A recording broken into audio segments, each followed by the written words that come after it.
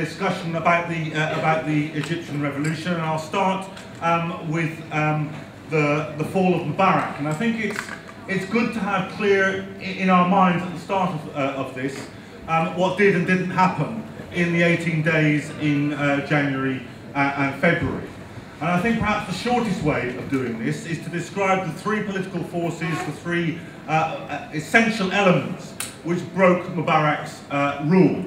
One, of course, was uh, the most visible element of the Egyptian revolution, the things that we all saw uh, on our television screens. I was there in the, in the 18 days and participated in the huge demonstrations in uh, Tahrir, in Tahrir Square. Millions of Egyptians in Tahrir and in the other squares uh, of, of, Egypt. And it's impossible to imagine uh, that a 30-year-old dictatorship like Mubarak dictatorship could have been broken without those mass uh, mobilizations.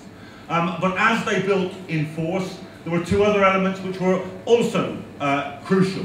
One uh, was that in the uh, final days before uh, Mubarak, uh, Mubarak fell, really the, the two or three days before Mubarak uh, fell, um, there was an increasingly powerful strike wave which, took, which took place of, of workers in their workplaces joining, joining the movement, participating in, in, the, in the movement, coming to here and, and striking. And the second and the third element, uh, absolutely critical, almost definitional of a successful revolution really was that there were splits that began to appear in uh, the armed uh, in the armed forces. Soldiers uh, disobeying orders, uh, middle-ranking officers uh, appearing in Tahrir Square among the among the crowds, and the senior elements in the in the armed forces deciding that they could no longer go on with Mubarak as head of state. And I think that one of the ways of looking at the Egyptian revolution was that it toppled Mubarak, broke some of the uh, police forces, later broke into the security uh, apparatus headquarters in Alexandria and in, in Cairo. Um, uh, but the regime that Mubarak headed, the military regime that he headed, um, made a gamble.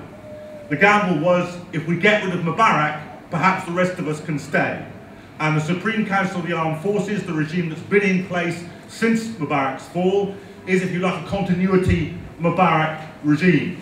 It's determined to hold on to as much of the economic and political power that it wielded under Mubarak, but without Mubarak. And really, the uh, full course of the Egyptian uh, revolution will only be decided uh, when we see whether the mass movement, whether the ongoing revolution is able to break the power of SCAF is able to continue the process of democratizing, of deepening the democratic uh, process in, Egyptian, in Egyptian society. And that's exactly what the two comrades who are here today have been engaged in all this, uh, all, all this year. I think it was an important moment when the elections took place, because when the elections to the Egyptian parliament took place, the uh, scheme of the SCAF government, the plan of the SCAF government was really to say this, you're going to get parliamentary elections, um, and that's all the democracy you're going to get. Leave Tahrir, stop striking, stop destabilising the economy, go home. That was the message of the, uh, of the, of, of, the elections. And although um, the uh, system was far from democratic, and although there are many question marks over the legitimacy of the Egyptian, uh, the Egyptian parliament, one thing that was absolutely right in my view is that those people on the left decided that whatever the weaknesses in the process, it was right to have the far left represented as our candidates. It was right to go into the parliament. It was right on the first day uh, that uh, MPs uh, uh, like Nazir, um, when they took the oath, not only took the oath to parliament, but said afterwards the revolution continues and began immediately to attack the SCAF government. I think that was an important and correct uh, decision, uh, decision to take, and I congratulate the people who were part of doing, of doing that.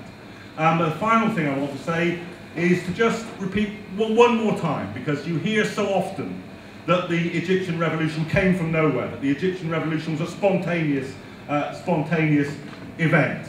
And of course, in a certain sense, that is true, but there's a very important sense in which it is not true.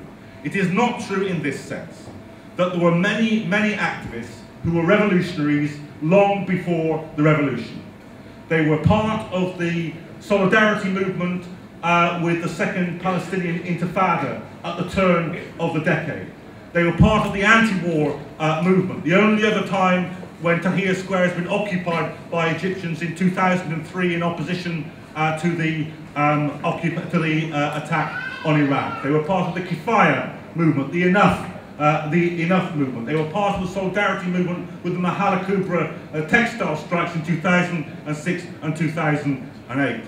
And what I want to say is that the person I'm going to introduce now, Marwa Farouk, was part of all that. I've known her for 10 years as part of the Cairo conference. She was engaged in every single struggle that the Egyptian working class, the Egyptian democracy movement and the Egyptian left have been engaged in for 10 years. It's a very great pleasure of mine to welcome her to London. When I landed in Tahrir Square, I phoned up my comrades who were already there and I said, I'm in my hotel, I want to come down to the Tahrir Square, but there's a tank parked at the end of my road. What should I do? They said, don't worry about it. Just walk past the tank, flag down any car that's coming, and it will take you to Tahrir. So I did that. They were right. The first person I met when I arrived at Tahrir Square, it, amazingly, out of millions of people, was Marwa Farouk. I've never been uh, as glad as I was then to see her, and I'm very glad to welcome her here in London and to introduce her to you.